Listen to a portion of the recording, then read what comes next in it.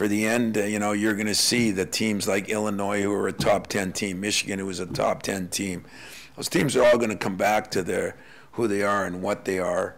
Um, it's just that, you know, in Illinois' case, there were injuries early, there were COVID early, there were learning to play without Curbelo, then Kofi missed some games early.